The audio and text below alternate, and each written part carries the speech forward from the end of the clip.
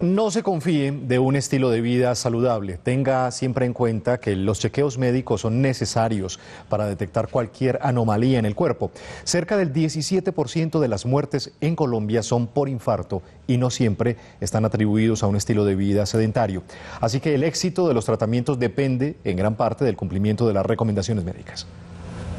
Él es John Jairo Hoyos. Asegura que siempre ha tenido prácticas que garanticen su bienestar. Yo siempre me he cuidado, yo, he montado mucho en bicicleta, yo monto en bicicleta hace más de 30 años. Y yo corría, yo fui a nivel competitivo inclusive muchos años. Sin embargo, él y sus conocidos no dejan de sorprenderse al saber que hasta ahora ha sufrido dos infartos. El primero me dio montando en bicicleta, yo salgo mucho a montar en bicicleta, iba para Las Palmas a las 5 de la mañana y me dio un dolor muy fuerte en el corazón más sin embargo me dio desde muy abajo, apenas empezando a subir, más sin embargo yo subí hasta el alto. Ni mucho que queme al santo, ni poco que no lo alumbre. Este dicho aplica para la salud. No se descuiden, tenga en cuenta que los síntomas no son generales, por eso las visitas al médico deben ser rigurosas. Las veces que a mí me ha dado los dos infartos, yo he sentido mucho frío y mucho desaliento, sobre todo mucho frío, no sé por qué.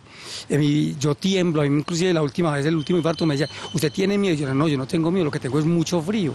Así fue la primera vez. Argumenta que su estilo de vida no ha cambiado mucho, pero la asesoría de expertos le sirvió para saber qué debe eliminar de su rutina me prohibieron todo lo que es lo verde, la lechuga, el pepino, el tomate verde, el aguacate.